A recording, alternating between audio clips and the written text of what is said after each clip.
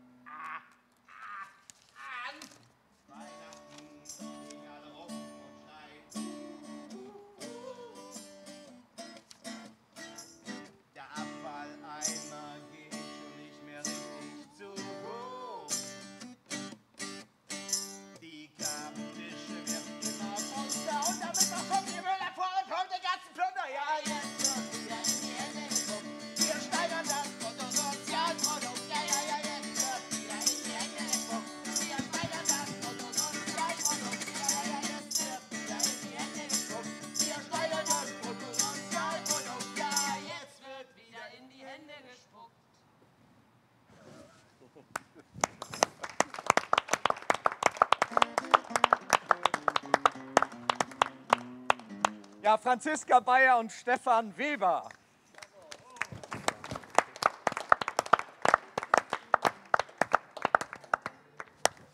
Ja, vielen Dank äh, für die musikalische Starteinlage. Jetzt sind wir alle wieder wach und angekommen und so ein bisschen im Theatermodus. Aber wir spielen ja heute gar kein Theater, sondern wir unterhalten uns über Theater und über die Veränderungen, die die Corona-Pandemie in dem Bereich für viele Leute mit und ohne finanzielle Absicherung erbracht hat. Und da bedanke ich mich auf jeden Fall nochmal beim LTT, bei Thorsten Weckerlin zu meiner Rechten äh, bei Michael Miensopus zu meiner Linken und ganz hinten bei Helge Thun am Rand. dafür, dafür, dass wir hier sein können mit euch und sprechen können über die Situation der Kultur in Corona-Zeiten. Ähm, genau, wir als ähm, Tübinger Arbeitslosentreff sind ja ein Verein, der mit dem Thema Prekarität schon seit den frühen oder Ende der 80er Jahre schon zu tun hat, seit es uns gibt, den Tübinger Arbeitslosentreff als ein Verein, der äh, Menschen hilft, die prekär beschäftigt sind, die erwerbslos sind, die in unterschiedlicher Weise von unterschiedlichen Sozialleistungen abhängig sind und die sich dann oft mit äh, Fragen und Problemen an uns wenden, wo wir im Rahmen dessen, was uns möglich ist, versuchen zu helfen. Und ähm, für uns ist natürlich jetzt gerade ähm, eine spannende Zeit, weil zum einen für uns selber die Corona-Pandemie eine Menge Veränderungen mit sich gebracht hat ähm, weil wir aber auch sehen, dass sozusagen das Thema Prekarität äh, jetzt auch mal auf einen Schlag einem großen Teil der Gesellschaft auch sozusagen präsenter wird.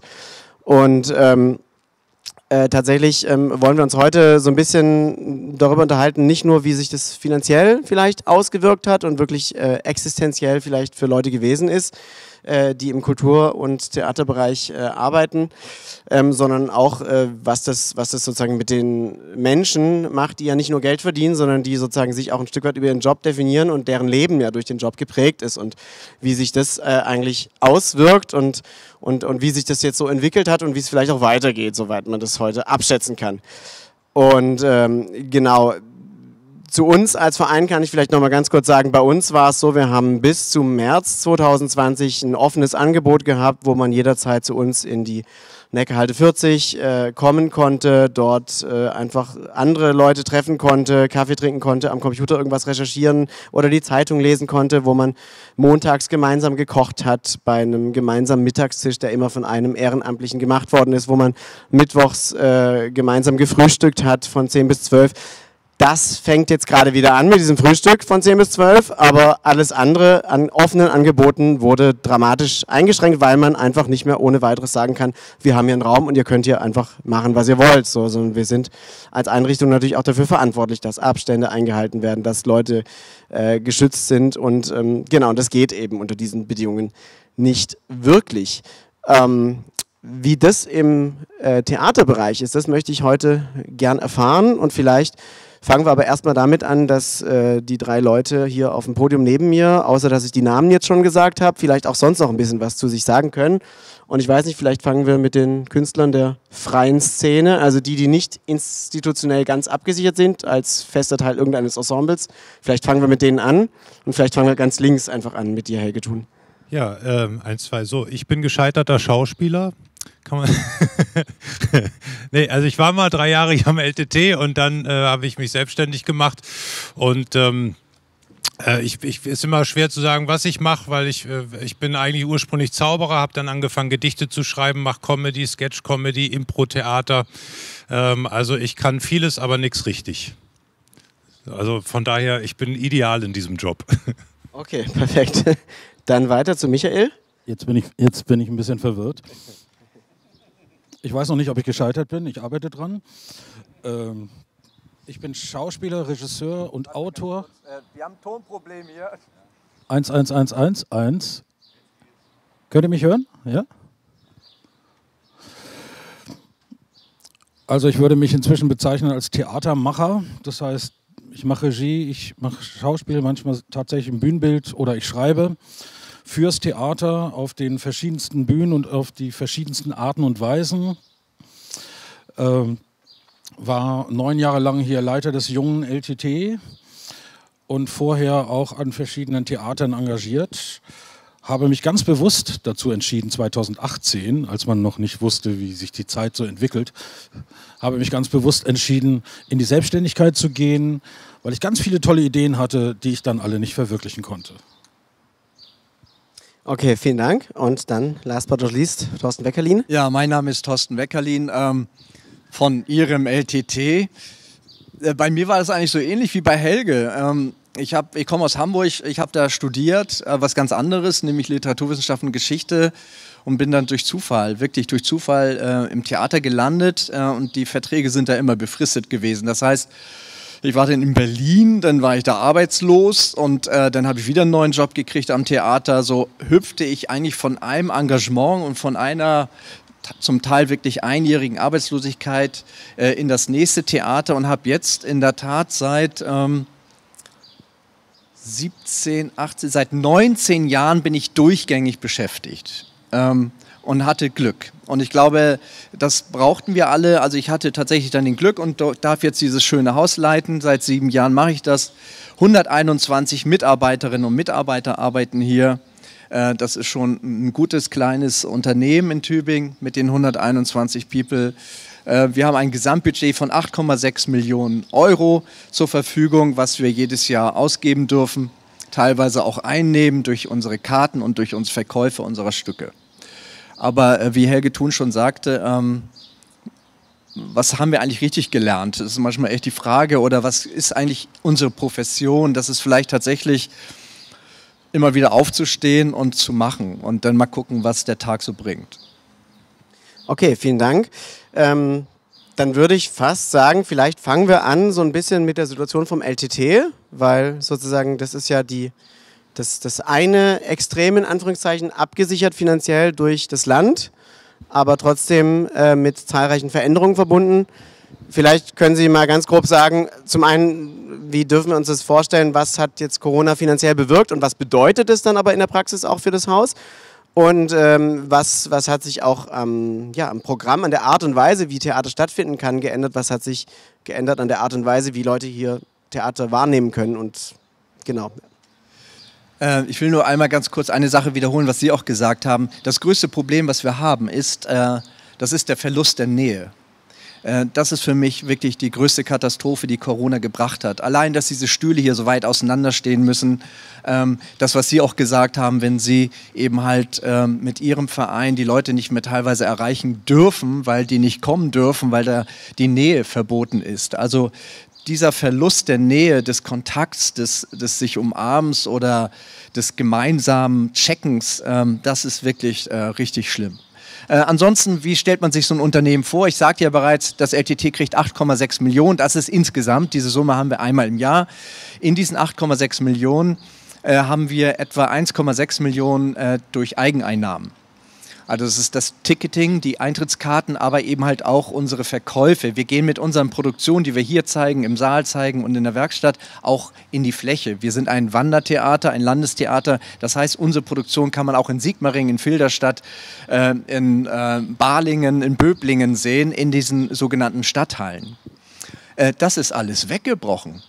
Also wenn wir eben halt hier können wir 120 Plätze verkaufen statt 250, im Saal dürfen wir 80 Plätze verkaufen statt 368 Plätze, in der Werkstatt dürfen wir 40 Plätze verkaufen statt 129 Plätze, ist es ganz klar, wenn wir nur 25 Prozent der Plätze besetzen dürfen, nehmen wir auch, wenn alle kommen, diese 25 Prozent auch nur 25 Prozent ein.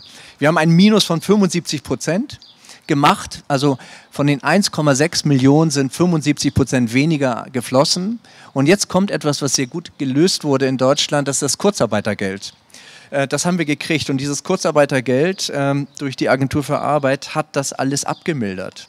Und jetzt kommt es auch noch. Wir sind ein staatlich subventioniertes, tarifgebundenes Haus. Das heißt, man kann unsere Gehälter nicht einfach nach unten schrauben, weil wir eben halt kein Privattheater sind wenn jemand bei uns in Kurzarbeit gegangen ist, wird er zu 100 aufgestockt. Also Kurzarbeitergeld heißt ja, dass nicht 100 bezahlt werden, sondern nur 67% Aber der Rest wird nochmal aufgestockt, sodass derjenige, der bei uns Kurzarbeit hatte, hatte, wir seit dem 1. Juli haben wir keine Kurzarbeit mehr, sondern sind wieder im Vollmodus, ähm, dann wird er aufgestockt. Das heißt, finanziell war das bis jetzt für uns keine so große Katastrophe ich als Arbeitgeber oder als Chef dieses kleinen Unternehmens sage natürlich, wirtschaftlich ist es eine Katastrophe, denn ich habe 75 Prozent weniger eingenommen.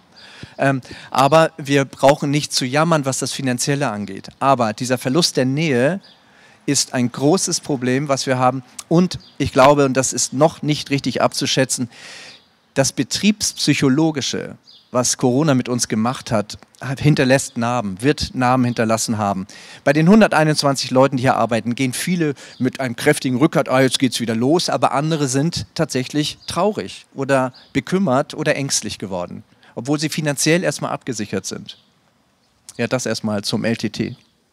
Okay, also das heißt sozusagen, das äh, feste Ensemble, also die, die regelmäßig hier beschäftigt waren, die haben finanziell keinerlei Verluste gehabt, aber Gibt es nicht am LTT auch Leute, die nur so projektweise mal dabei sind? Nein, ist nicht der nee, Fall? Nee, wir arbeiten hier nur mit, also natürlich die Regisseure ähm, und die Bühnenbildner, aber das hat sich nicht großartig geändert. Das sind Honorarkräfte, die arbeiten hier acht Wochen, dann ist die Produktion fertig, dann gelangt sie zur Premiere. Aber unsere Schauspielerinnen und Schauspieler und die ganzen Werkstätten, die wir haben, die Tischler, die Schreiner, die Schlosser, die Maler, äh, die Maskenabteilung, Requisiteure, die Kulissenschieber, die Tonmenschen, die Lichtmenschen, einer sitzt auch dort in der grünen Kabine, die sind bei uns alle fest angestellt. Okay, okay. Das heißt, da ist finanziell sozusagen, kann man sagen, solange die Epidemie jetzt nicht noch zehn Jahre geht, im ja, im Vergleich zur freien Kunst, aber eben halt auch im Vergleich zu privaten Firmen, wie zum Beispiel ein Handwerksbetrieb, äh, der Kurzarbeitergeld machen musste, oder vielleicht eine Bäckerei oder ein Friseurladen, sind wir wirklich gut abgesichert. Als tarifgebundenes, sozial äh, staatlich bezuschusstes Haus sind wir verdammt gut abgesichert. Mhm. Ne? Unser Gastronom überhaupt nicht im LTT-Lokal, unser Pächter. Aspendos, das Restaurant, eine Katastrophe finanziell für alle. Ne? Für uns nicht. Mhm. Okay, vielleicht bleiben wir bei diesem Thema Finanzielles, damit äh, wir erstmal hier links wieder weitermachen können. Ähm, als, als freie Künstler äh, haben Sie Aufträge, haben Sie Auftritte, haben Sie Sachen, wo Sie gebucht werden. Und äh, Was hat sich da geändert und, und wie hat sich das finanziell dargestellt? Also sozusagen, und was wissen Sie vielleicht auch von Ihren Kollegen? Vielleicht fangen wir gleich bei Ihnen an, Herr Misopust. Mi- Misopust. Ja, sagen wir mal so, ich habe eigentlich ähm, Glück gehabt, in dem Sinne, dass äh, wenn man kreativ arbeitet, dann hört man ja nicht in, in so einer Krise nicht auf, äh, kreativ zu sein. Also jetzt, ich kann jetzt im Moment nur ganz persönlich von mir reden. Ich saß drei Wochen rum, ich habe das Übliche gemacht, die alten Videos überspielt, den Keller aufgeräumt. Und nach drei Wochen habe ich aus dem Fenster geguckt und habe gesehen, wie die Kinder da draußen spielen, aber eigentlich nicht wissen, was sie spielen sollen. Und dann habe ich gedacht, jetzt muss ich mal im Innenhof Theater spielen. Habe damit angefangen, dann hat der nächste Innenhof gefragt, dann hat der übernächste Innenhof gefragt. Dann habe ich die Stadt gefragt, ob sie das finanzieren würde, weil ich gerne wollte, dass die Leute nicht in den Innenhöfen, die dort ja wohnen, äh, zahlen müssen. Die saßen dann auf ihren Balkons, auf ihren Terrassen und die Kinder trauten sich dann mal so vorne äh, an die Wiese. Und äh, glücklicherweise haben wir eben auch, oder hatte ich auch, habe ich auch Stücke, die ich einfach so spielen kann. Da brauche ich jetzt keine große Verstärkung, Bühne, Licht etc. Und dann haben wir, weil das Land ja dann sehr freigebig war, was jetzt Kunstprojekte angeht, haben wir Gelder beantragt und haben dann in ganz Tübingen in sämtlichen Innenhöfen mit Tänzern, mit Akrobaten, mit Figurenspielern ein komplettes Festival aufgezogen, sodass wir sozusagen wahnsinnig beschäftigt waren. Das war zwar nicht die Beschäftigung, die ich mir vorher ausgedacht hatte, also alle Vorstellungen, die ich hatte, sind weggebrochen, alle Aufträge, die ich bekam, sind weggebrochen, teilweise wurde, wurde die Hälfte des Geldes bezahlt äh, oder die äh, Auftritte werden verschoben bis auf, ich glaube jetzt im Oktober sollen die jetzt mal sein. Ich, mal sehen, ob die 23 oder 24. Ja. Und dann riefen Freunde aus Hamburg an, ob ich nicht in Hamburg auch im Innenhof spielen könnte und in Schwerin und in Lübeck. Und ich war, glaube ich, der meistbeschäftigte Schauspieler 2020 im Sommer. Also es hat sich was ergeben. Natürlich habe ich für die Aufführung nicht das Geld bekommen, was ich üblicherweise dafür bekomme, aber ich war in Arbeit sozusagen und ich hatte den durchgehenden Kontakt zum Publikum. Und das Schöne war eben, dass ich auch die Möglichkeit hatte, andere Künstler mit hineinzuziehen. Jetzt bin ich aber in dem Sinne eine Ausnahme, dass ich, dass ich eben von der Veranstaltungsorganisation, von der Regie, von Schauspiel, also ich habe ein breites Spek- Spektrum, was viele meiner Kollegen eben nicht haben. Und denen ging es dann, ging's dann nicht so gut, weil eben äh, Schauspieler, die zum Beispiel nicht selber Stücke schreiben, nicht selber Solos erarbeiten etc., die darauf angewiesen sind zu spielen, die darauf angewiesen sind auch äh, an so Häusern zu arbeiten, äh, denen ging es natürlich nicht gut. Und also wie gesagt, ich kann eigentlich nur sagen, ich habe Glück gehabt. Und ich hatte auch noch Glück, dass, also ich persönlich hatte nun auch noch das Glück, dass wir vorher äh, eine Wohnung gekauft hatten und uns die Mietkosten äh, wegfielen, sodass der Verlust nicht so groß war.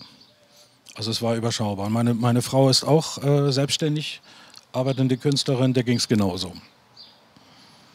Okay, das hört sich ja eigentlich geradezu traumhaft an für das, was man erwartet jetzt eigentlich. Ja. Sie würden sagen, Sie sind quasi außer mit einem kleinen finanziellen Verlust oder vielleicht auch einem großen, aber Sie hatten jetzt nicht die Notwendigkeit, irgendwo irgendwelche Leistungen zu beantragen. Sie haben sich finanzieren können und Sie äh, würden sagen, sozusagen, für Sie ist es gut gelaufen.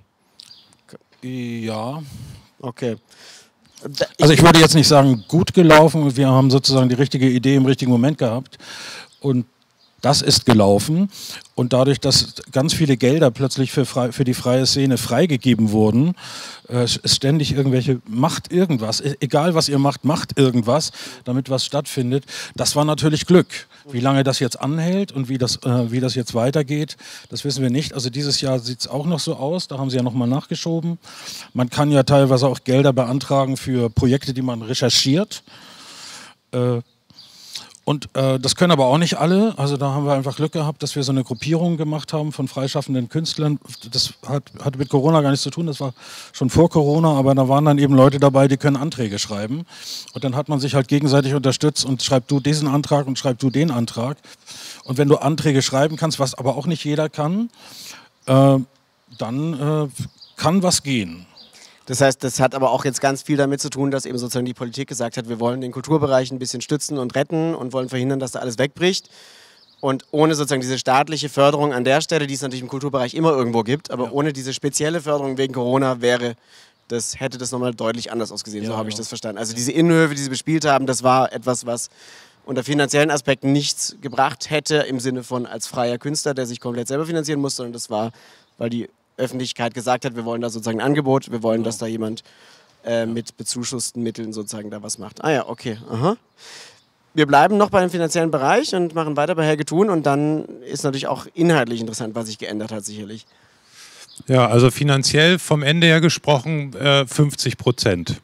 So, das ähm, kann man sagen. Wir, ich bin, wir sind mit Glück bei 50 Prozent der Einnahmen, die wir vorhatten. Also wir, sage ich immer, ich alleine oder mit verschiedenen Projekten mit Kollegen und Kolleginnen zusammen ähm, gelandet. Und das setzt sich so zusammen. Also erstmal ist mehr oder weniger alles weggebrochen. Ja, das ist, war vor allem Arbeit für die Agentur, die sonst äh, die Veranstaltung bucht und für die Theater und ähm, in denen wir sonst mit verschiedenen Stücken oder ähm, Produktionen spielen. Das heißt, da hatte ich gar nicht so viel Arbeit davon, glücklicherweise, aber da weiß ich, dass das unglaublich viel Arbeit und Zeit und auch Geld gekostet hat. Also um nur mal ein Beispiel zu sagen, das Theaterhaus in Stuttgart zum Beispiel, äh, wo der Kartenvorverkauf über eine, äh, so ein Ticketing-Event, ähm, ich weiß nicht genau, wie es heißt, äh, funktioniert so.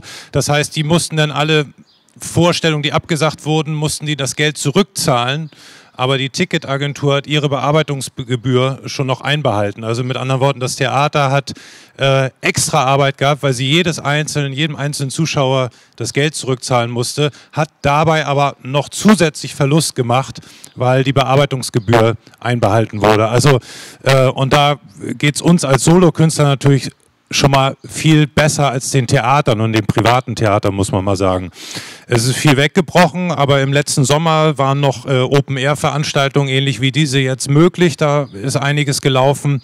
Äh, November- und Dezemberhilfe war ein Riesenbatzen weil gerade das zwei Monate waren, äh, oder das sind natürlich sowieso die Monate, wo es in der freien Szene, wo das meiste Geld verdient wird in den Monaten. Also das heißt, das war wirklich ein Segen, kann man sagen.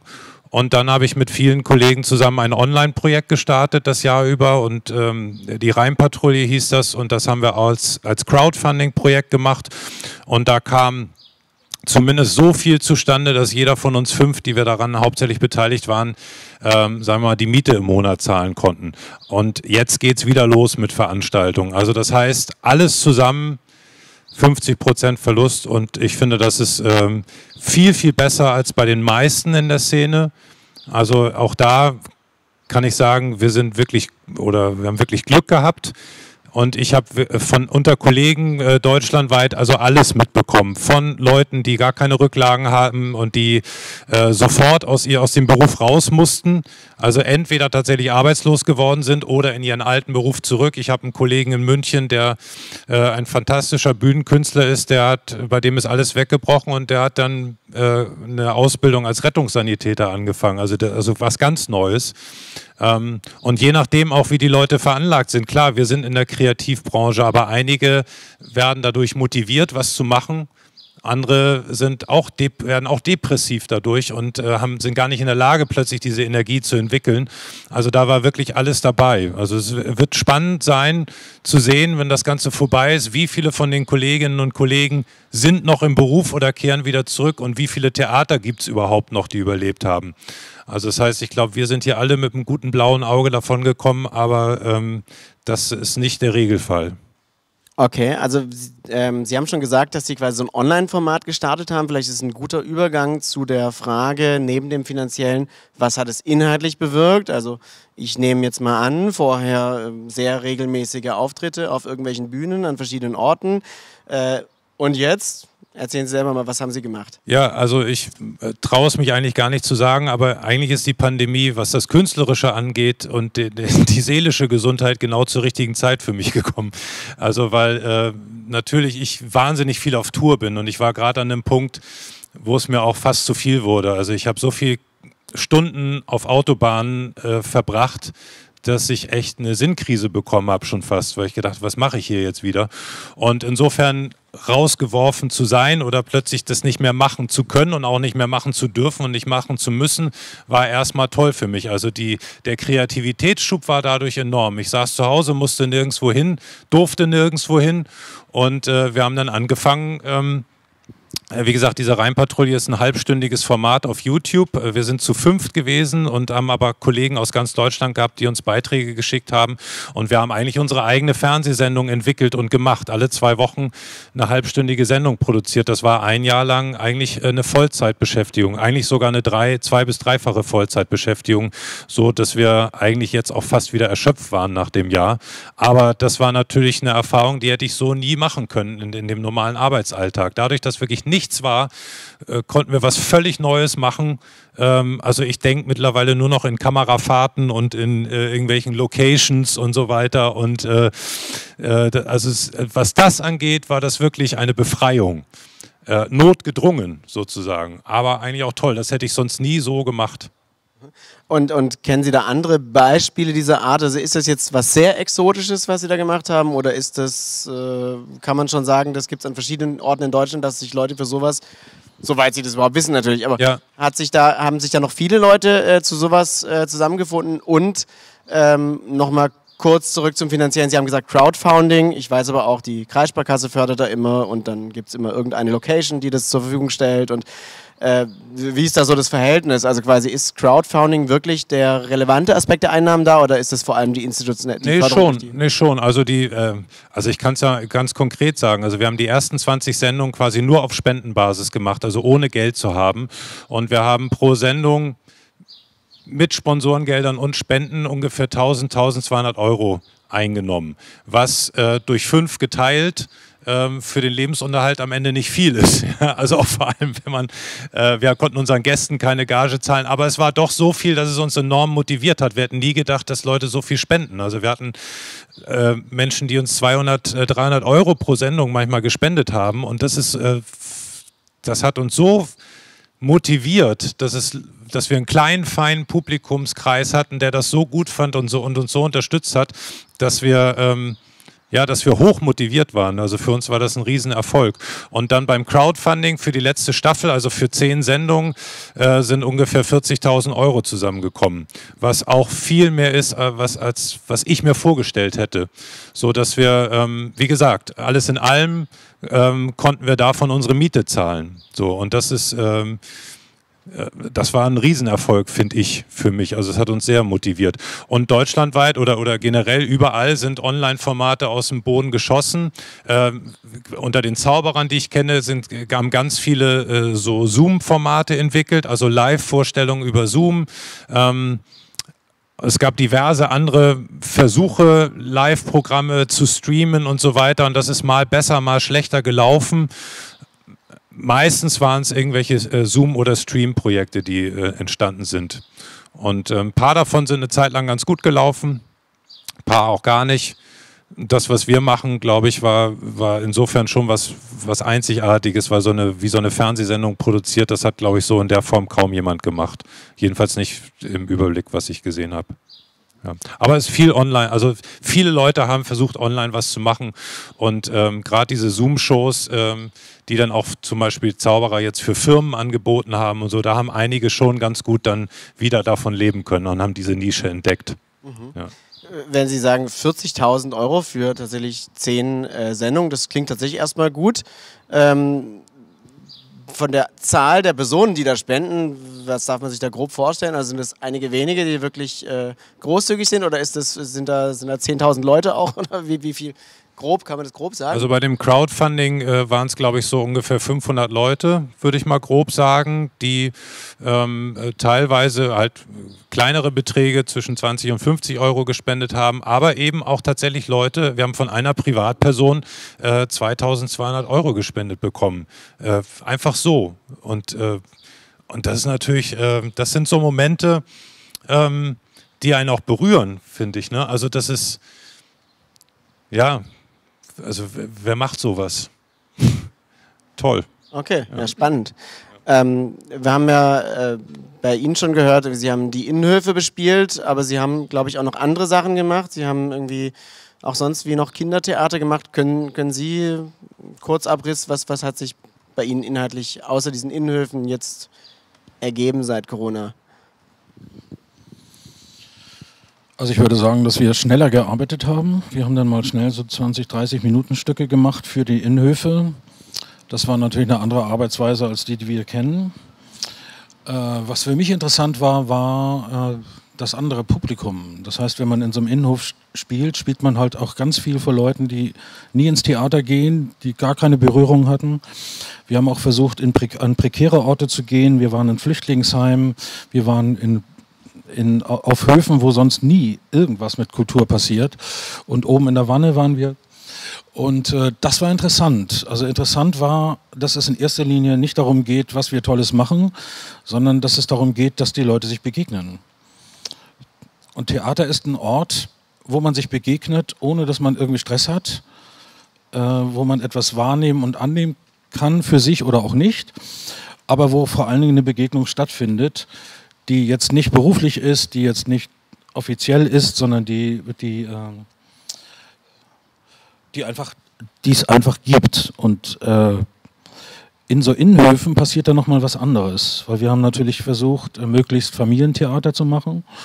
Und als dann Akrobaten kamen und da äh, den Hof verzauberten und plötzlich dieser, dieser Ort, diese Wiese, diese Bank äh, zu, einer, zu einer Bühne wird, da, da passiert was. Und, das, und der, der nächste Schritt ist dann, dass die Bewohner untereinander zusammenkommen in diesen Höfen. Danach, nach der Vorstellung kommen, sich treffen, unterhalten, alles auf Abstand natürlich. Aber äh, das war interessant. Das war interessant, ähm, was ich daraus dann auch für mich künstlerisch nochmal eine andere Frage gestellt hat, nämlich, was für ein Publikum haben wir in Zukunft? Wer geht ins Theater? Und wer kennt Theater überhaupt nicht? Und das war interessant, in den einzelnen Innenhöfen bis nach Schwerin hoch äh, zu sehen, wie die Leute da reagieren. Und das war anders als im Theater. Es ist ja vielleicht auch ein Appetizer für die Zeit nach Corona, wenn wieder normales Theater möglich ist für Leute, die jetzt auf die Art und Weise ja. damit in Kontakt gekommen sind. Okay, interessant. Also bis jetzt hört sich das ehrlich gesagt überraschend positiv alles an, so Corona als Chance gut, dass endlich diese Pandemie hier mal uns die Möglichkeit gegeben Aber hat, was wie gesagt, Neues. das ist tatsächlich, das sind tatsächlich Ausnahmen. Also eigentlich sind wir überhaupt nicht repräsentativ hier mit dem. Das ist das, was ich eben meinte. Ne? Ja. Es sind wahnsinnig viele Kollegen, die auch in Schockstarre äh, verfallen sind, die depressiv geworden sind, die äh, gar keine Rücklagen hatten und so. Also ähm, ähm, ja, das, das ist tatsächlich, ich würde sagen, da war alles dabei. Und das, äh, wie gesagt, je nachdem, wie man veranlagt ist, glaube ich auch, da oder damit umgeht. Also das ist wirklich nicht repräsentativ, was wir gerade erzählen hier. Das, das, das wollte ich, darauf wollte ich ein Stück weit hinaus auch. Ähm, ja, das, das, Publikum macht auch mit, ist gut. Ähm, vielleicht äh, nach diesen überraschend positiven Eindrücken aus der freien Szene, auch wenn sie nicht repräsentativ sind, äh, vielleicht nochmal zurück zum LTT, dass es finanziell jetzt erstmal kein Problem war, haben wir gehört. Äh, dass 25 Prozent weniger Karten verkauft werden durften, ist das, was ich ungefähr verstanden habe. Nee, es waren 75 Prozent. Äh, ja, genau, nur 25 Prozent, sorry. Dass ja. 75 Prozent weniger, also nur 25 Prozent verkauft werden durfte. Aber ähm, jetzt, äh, was hat es denn noch so bewirkt, außer dass das Publikum wahrscheinlich jetzt ein bisschen übersichtlicher ausgesehen hat und die Leute sich weniger äh, unangenehm nahe kommen mussten, ähm, wie das manchmal auch ja sein kann im Theater, dass man denkt, das ist mir zu eng hier. Das Problem hatte man jetzt wahrscheinlich nicht. Ähm, aber, aber, aber was hat sich denn noch verändert? Das sind, äh, das sind ganz viele Punkte. Ich, ähm, also ich glaube, Theater ist äh, sehr ruppig und sehr nah. Und äh, wenn es einem dann nicht passt, diese Enge, dann geht man, klar. Aber das ist erstmal Theater für mich. Und das ist zurzeit nicht möglich. Äh, was ich aber noch mal ganz kurz festhalten möchte, was Helge Thun gesagt hat. Wenn beispielsweise Gewerkschaften jetzt kämpfen um eine Lohnerhöhung um 6,8 Prozent oder so, hat Herr Thun, Helge Thun, gerade gesagt, er hat es akzeptiert, 50 Prozent Kürzung zu erfahren. Und trotzdem war es der Blick nach vorne, der ihn angetrieben hat. Also er beschreibt etwas, was ganz wichtig ist. Ähm, ein hoch heiß gelaufener Motor bei vielen Künstlern und Künstlerinnen, der plötzlich durch Corona entschleunigt wird oder gestoppt wird. Und wir haben dann die Kraft, aufgrund unserer Fantasie, unserer Köpfe tatsächlich den Blick nach vorne zu senden, zu schicken Und dieser Blick nach vorne treibt uns auch an. Also eine Pandemie als etwas wie ich breche mit der Vergangenheit. Das ist ein sehr schöner Vorgang. Darüber lässt sich auch gut philosophieren. Helge Thun hat es sehr selbstbewusst gesagt. Aber wir müssen festhalten, er hat akzeptiert, 50 Prozent weniger jeden Monat zu bekommen. Ne? Kann das irgendwie mit einem Schmunzeln, mit einem Schalk im Nacken eben halt auch akzeptieren und auch heute hier so sagen. Aber die meisten können das nicht. Äh, deswegen, das finde ich ganz, ganz wichtig, dass wir das mal festhalten. Ähm, hier selbst, ähm, ich jammere prinzipiell auf hohem Niveau. Äh, wir haben 75 Prozent weniger eingenommen. Aber gehen wir doch einfach mal in so ein Theaterapparat hier. Das ist das Hauptgebäude. Wir haben noch zwei weitere Gebäude. Neckarsulmer Straße sind unsere Werkstätten, Schlosserei, äh, äh, Schreinerei, Mahlsaal und Fundus. Und dann haben wir noch gegenüber das sogenannte Hess mit den Probebühnen. Das ist eine Architektur, eine ganz klassische Struktur, die wir haben mit Probebühnen. Aber jetzt kommt's. Hygiene- und Abstandsregeln. Darauf will ich mal aufmerksam machen, damit Sie mal wissen, die Räume waren plötzlich zu klein. Wir konnten nicht mehr normal proben.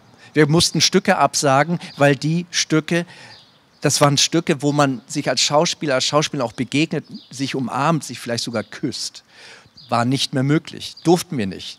Also es gibt die Unfallkasse, die VWG, die beschreibt ganz genau, was in einem, was weiß ich, 400 Quadratmeter großen Raum passieren darf, wie groß der Regiestab sein darf, wie viele Schauspieler auf die Bühne dürfen. Und dann ist ein Rumgestolpere plötzlich zu erkennen. Ich selbst äh, inszeniere auch gerne und dann sehe ich ängstliche Schauspieler, die mit Masken sich plötzlich auf der Bühne, auf der Probebühne bewegen. Wir haben die Stücke umgebaut. Maskenbildner durften die Schauspieler nicht mehr schminken wegen der fehlenden Distanz. Also in sechs Metern Abstand hat unser Maskenchef gesagt, Herr Thun, bitte da ein bisschen mehr Lidschatten ne? und da ein bisschen mehr Lippenstift. Ich brauche gar nichts. Ja, genau. Das ist wieder der Unterschied. Aber bei uns brauchen wir schon etwas. Frisuren, ach komm, den Zopf kannst du doch selbst pflichten, äh, Franziska Bayer, ne? Mach das mal richtig da so. Aber ich darf dir nicht zu nahe kommen. Und das war eine, auch ich darf das hier eigentlich auch gar nicht machen, weil ich da schon wieder die Drei-Meter-Grenze überschritten, unterschritten habe. Ähm, das meine ich, das hat einen Theaterapparat wie hier, das ist ein wunderbares Haus, ähm, sehr kompliziert gemacht. Und eben halt auch, wenn das so anderthalb Jahre dauert, frisst sich das in den Körper rein. So, dann hat man plötzlich auch, ähm, wenn man Leute begegnet in den Treppenhäusern, Ne? Das war so die No-Go-Szene. Oh Gott, da kommt jemand runter, geh jetzt erstmal weg, trotz Maske. Wir tragen ja alle noch immer Maske innerhalb dieses Hauses, müssen wir machen. Äh, obwohl wir teilweise alle schon durchgeimpft sind, was ich auch gut finde in diesem Haus. Viele lassen sich impfen. Ähm, aber das ist eine komische Form, was nach anderthalb Jahren wie so Patina auf uns runtergeht, wie so Mehltau. Ich meinte auch vorhin zu Helge Thun, manchmal ist es so, dass wir so Energiespritzen jetzt plötzlich brauchen, wo hinten die Schraube wieder aufgedreht wird, sodass wir wieder so stehen und sagen, jetzt geht's wieder los. Und es wird in die Hände gespuckt. Und ähm, das ist ein Vorgang, äh, mit dem ich, sage ich ganz ehrlich, die beiden Schauspieler wissen das sehr gut, ähm, kaum umgehen kann. Angst hat nichts zu suchen für die, in der Kunst. Und wenn jemand ängstlich ist, sei es in der Maskenabteilung, in der Requisite, auf der Bühne, in der Technik, dann bremst es uns ab. Und ich bekomme jedes Mal Panik, wenn ich merke, Mist, wie kriege ich diese Angst aus diesem Haus raus? Wie kriege ich die Angst hier aus Tübingen raus? Dann will ich auch noch etwas erwähnen. Corona und das Kulturamt hier in Tübingen. Dagmar Weizenegger hat das wahnsinnig gut gemacht. Ne? Also auch gerade für dich, Michael, oder so, oder auch für Helge oder auch für uns. Ne? Ein Anruf war da, dann gab es mal schnell 1500 Euro und da gab es dies und das. Also das Tübinger Kulturamt, also die Stadt Tübingen hat vieles hier abgefedert, auch durch diesen ganzen, äh, durch die Zuschüsse, durch die Fonds, durch die Ausschreibung, die man eben halt hatte. Also das ist eine wunderbare Sache. Ich halte fest, Entschleunigung war ein wichtiges Thema auch für uns, teilweise schmerzhaft, weil ich eher so ein schneller Mensch bin oder mich sehr gerne bewege.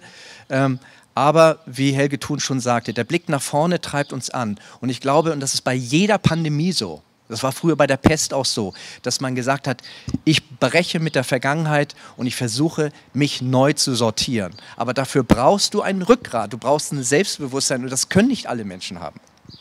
Also für mich war immer wichtig, nur um das auch nochmal da, da noch drauf einzugehen, für mich war immer wichtig zu sagen, ich bin jetzt in der Gegenwart, ich kann nur jetzt entscheiden. Gleichzeitig ist es dann eben auch so, ich weiß auch noch nicht, was ich im Oktober mache. Also Aber das ist auch ein Vorgang. Wir wissen das ganz genau. Also Franziska Bayer als feste Schauspielerin, Stefan Weber, ich, wir wissen. Wir haben einen Spielplan gemacht. Wir haben die ganze kommende Spielzeit bis August 22 durchdisponiert. Wohlgemerkt mit 20, 25 Prozent Platzausnutzung. Können dann reagieren, wenn wir mehr Leute reinlassen dürfen oder dann wieder weniger. Aber wir haben, wir sind schon im Jahr 2022 und planen jetzt schon die Premieren 2023. Teilweise völlig absurd. Das ist übrigens auch ein Aspekt, äh, den man ähm, so äh, oftmals nicht bedenkt. Also äh, auch im Kleinkunstbereich werden die Termine ja auch Minimum ein Jahr im Voraus gemacht, eher anderthalb, manchmal sogar zwei. Das heißt, allein der Stau von verschobenen ähm, Veranstaltungen, die eigentlich vor einem Jahr hätten stattfinden sollen, die jetzt alle weitergeschoben waren. Und da waren auch, also sozusagen alles voll. Und für die Künstler, die einigermaßen etabliert sind, äh, hat das auch funktioniert. Also ne, äh, da, da, sind die Terminkalender jetzt voll, wenn denn die Veranstaltungen auch wieder stattfinden dürfen. Aber jetzt zum Beispiel Leute, die gerade erst eingestiegen sind oder die noch nicht so bekannt sind, die sowieso schon gucken mussten, wo kriege ich ein Theater, in dem ich spielen darf, die haben jetzt quasi gar nichts mehr. Ja, also die kommen nirgendwo rein weil alles voll ist mit den etablierten Leuten. Und äh, also äh, ein Kollege auch von der Rheinpatrouille, äh, junger Kollege, äh, der, der, Johann Theissen, der hat quasi seine Premiere war angesetzt. Ähm, im, im März 2020 war das dann ja. Also das heißt, er hat fünf Vorpremieren gespielt, sein allererstes abendfüllendes Programm, endlich eine Agentur, jetzt geht's los mit der Karriere. Und dann ist quasi seine erste, allererste Premiere in dem Lockdown zum Opfer gefallen. Ja, also das heißt, äh, der ist direkt am Anfang mal ausgebremst worden. Und das ist jetzt ja auch kein Einzelfall. Ne, das heißt, selbst wenn es jetzt wieder weitergeht und wir spielen können, die Theater aufhaben, gibt es eine ganze Menge Leute äh, in unserem Bereich, die trotzdem nicht spielen können. So, also das sind alles so Dinge, die man auch nicht bedenkt. Ne? Die Leute sagen auch immer, ah, jetzt könnt ihr wieder spielen. Ja, aber eben, wir spielen jetzt eben unter Corona-Bedingungen. Also das ist ja jetzt schon äh, eine große Crowd, möchte ich mal sagen hier. Ja, das ist äh, und alle sitzen nicht mal in Autos. Also das ist der, der, der Normalzustand mittlerweile. Ja, wenn einer müde lächelt, dann denke ich schon, oh geile Reaktion. Ja, also das, äh, das heißt, wir, wir können spielen, aber wir verdienen trotzdem noch nicht so viel. Und die Theater, die sind alle, also die privaten Theater, die äh, machen mit jeder Veranstaltung Minus. Also wir haben sogar noch fast Glück, in diesem mittleren Bereich zu spielen, weil das ist ab, fast absurd, weil die, die ganz erfolgreich sind, die können auch wieder nicht spielen. Ja, also es gibt, da, da ist dann plötzlich die Größe das Problem. Ja, weil die dann irgendwie äh, zwar äh, Kleinkunst machen, aber in großen Hallen, wo 10.000 Leute normalerweise kommen, die haben 90 Angestellte in ihrem Team. Wenn die jetzt ein Jahr lang plötzlich nicht spielen können, das sind auch ganz andere Kosten, die auch kein Staat auffängt.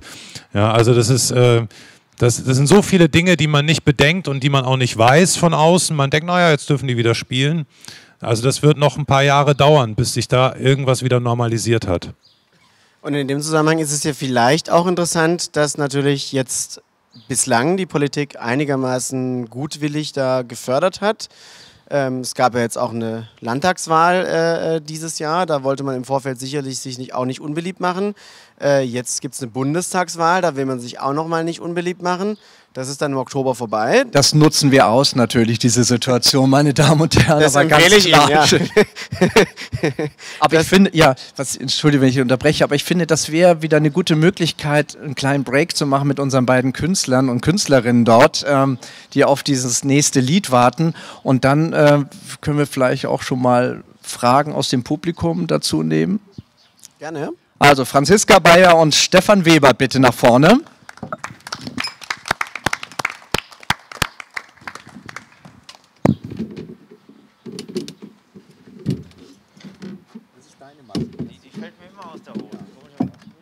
Ihm fällt die Maske aus der Hose. Wenn man wieder so optimistisch ist, haben wir noch einen kleinen Downer. Ja, genau. Ja, deswegen dachte ich auch, wir machen jetzt kurz einen Break. Wir singen heute alles und singen heute alles in G-Dur. Das wir so beschlossen. Ja. 3G.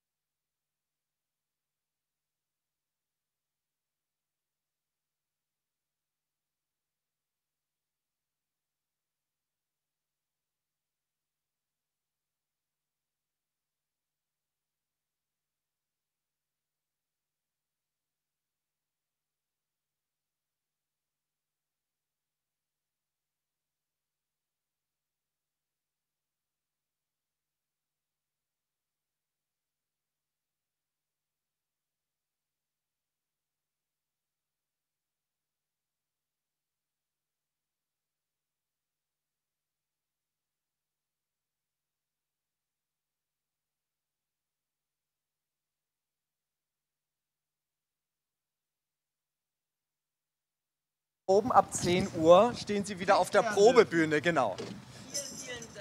Vielen Dank. Vielen Dank euch beiden. Danke. Übrigens, äh, ganz kurz, weil eben die Maske rausgefallen war. Das war eigentlich das Schönste, was während der Pandemie passiert ist. Während äh, äh, im letzten Sommer hatte ich eine Vorstellung, da ist auch einer Dame im Sudhaus die äh, Maske runtergefallen beim Applaus und die ist dann auf die Bühne gekullert, so direkt einen halben Meter vor mir, so eine FFP2-Maske, die stand dann da so aufrecht und dann dachte ich, wo wir auch gerade die Musik hatten, das war so ein bisschen wie so ein Rockkonzert in den 70ern, ne? wo die BHs so auf die Bühne geworfen wurden. Also Körbchengröße stimmte, war aber nur halb so gut. Also auf jeden Fall, das, das war für mich Sinnbild, das ist das Bild, was bleibt. So. Schönes Bild. Ja, ähm, wo wir schon von Downern sprachen, also ich will keinen Pessimismus verbreiten, aber mich interessiert natürlich schon, so wie blicken Sie optimistisch oder auch pessimistisch, wahrscheinlich optimistisch nach dem, was ich bis jetzt mitbekommen habe, aber wie blicken Sie in die Zukunft? Also wir haben ja jetzt dann möglicherweise demnächst nach dieser ganzen Urlaubswelle, die jetzt stattfindet, haben wir dann demnächst vielleicht die vierte Welle, also ist jedenfalls so eine gewisse Gefahr, die ich schon sehe. Ähm, und selbst wenn wir die nicht haben, haben wir auf jeden Fall noch nicht das Ende der Pandemie im nächsten Winter. Und es wird äh, teilweise davon gesprochen, dass irgendwie jetzt irgendwie auch wieder gespart werden müsste, weil ja jetzt irgendwie die öffentlichen Haushalte so belastet waren. Und wir wissen das natürlich alle nicht, wie es weitergeht. Aber wie schätzen Sie, ähm, und das würde ich jetzt erstmal ähm, an Herrn Weckerlin vom LTT richten, wie schätzen Sie das ein, so wenn Sie jetzt einfach mal so fantasieren dürfen, äh, weil wir wissen es alle nicht. Was, was denken Sie, wie sich die nächsten zwei, drei Jahre entwickeln? Und Ähm, also ich frage mich schon seit einem halben Jahr, wo kommt das ganze Geld her? Ähm, wir sind eine Landesinstitution. 70 Prozent äh, unserer Summe, die 8,6 Millionen, äh, bekommen wir von der Landesregierung. Die Landesregierung hat ja das Staatstheater in Stuttgart, die Landesregierung hat das Staatstheater in Karlsruhe und die Landesregierung hat die drei Landesbühnen, das Landestheater Tübingen, das Landestheater Esslingen und das Landestheater in Bruchsal. So, das ist die schützende Hand, die wir haben. Über uns schwebt ein Verwaltungsrat und da ist die Kunstministerin drin und die Kulturstaatssekretärin. Und die sagt immer Folgendes, Thorsten, mach dir keine Sorgen. Ich komme aus Hamburg und äh, das, da schwebt doch eine leichte Kaufmannsseele auch in meinem Kopf. Irgendwo muss das Geld ja herkommen. Ich weiß nur, dass bei einem Betrieb wie hier, dem LTT mit den 121 Leuten, etwa 10 Prozent der Gesamtsumme, die wir zur Verfügung haben, diese 8,6, in die Kunst geht. Nur 10 Prozent. Der Rest geht in Haus, Miete und eben halt, das ist der größte Batzen, äh, das ist das Personal. Das heißt also, wenn hier gekürzt wird, und sei es nur durch 5 Prozent, bedeutet das für uns, dass wenn ich nur 10 Prozent der Gesamtsumme für die Kunst einsetzen kann, ist es ein elementarer Eingriff. Jetzt sagen viele auch, komm, Weckerlin, Mensch, du kriegst jetzt äh, so viel Geld, mal 95 Prozent dann nur noch, das kann doch nicht das große Problem sein, aber ist es. Und das zu kommunizieren ist meine Aufgabe eigentlich. Wenn ich nur 10 Prozent dessen, was ich bekomme, in die Kunst reinsetzen kann und dann plötzlich gekürzt wird, sei es 500.000 Euro, dann bedeutet das für mich, dass ich mindestens vier Premieren, fünf Premieren weniger machen kann. Das heißt, ich werde für Sie als Publikum langweiliger, uninteressanter, weil das Angebot kleiner wird. Und äh, das ist ein großes Thema für uns. Und dann nicht zu vergessen, wir kriegen deswegen so viel von der Landesregierung, weil wir den kulturpolitischen Auftrag haben, in der Fläche präsent zu sein. Also mit unseren Produktionen, ich sagte das eingangs, in Sigmaring, in Filderstadt, in Böbling, in Baling, in Winningen und so weiter, äh, zu spielen in den Stadthallen. Wenn diese Stadthallen aber plötzlich nicht mehr in der Lage sind, überhaupt Publikum reinzulassen, weil sie zum Beispiel auch auf oder hinter der Bühne für die Kunst, für die Künstler äh, keinen Platz mehr haben, weil sie die Hygiene- und Abstandsregeln nicht einhalten können, dann bricht mir dort auch ein wichtiger Zweig weg, nämlich das Gastieren, das Wandern mit unseren Produktionen. Und dann habe ich noch weniger Einnahmen und dann glaube ich nicht, dass irgendwann in zwei oder drei Jahren die Landesregierung sagt, Mensch, das kompensiere ich auch noch. Mach dir keine Sorgen, äh, du wirst weiterhin deine 10 Prozent, die du für die Kunst ausgibst, auch behalten. Daran glaube ich tatsächlich nicht. Dass wir als Mitarbeiter, Mitarbeitern irgendwie über die Runden kommen und das wirklich sehr gut im Vergleich zu der freischaffenden Kunst, das wird sicherlich so sein, weil wir eine Landesinstitution sind, weil bei uns der Tarifvertrag öffentlicher Dienst gilt. Aber ähm, was das für die Kunst, für das, was ich hier auf die Bühne stellen kann, hier alleine hier zum Beispiel so eine kleine Open-Air-Bühne aufbauen kann, ob ich das noch machen kann, das weiß ich wirklich nicht. Okay, ja, danke erstmal für diese Einschätzung. Wie ist es bei euch beiden? Helge, fangen wir mit dir an. Ja, so, so wie ich es eigentlich eben schon eigentlich skizziert habe. Also es wird jetzt weitergehen unter Corona-Bedingungen. Ähm, spannend wird oder, oder interessant wird die Frage, wie viele von den äh, privaten Theatern überleben? Also sozusagen, wie viele Spielorte wird es noch geben? Ne? Gibt es nur noch die großen?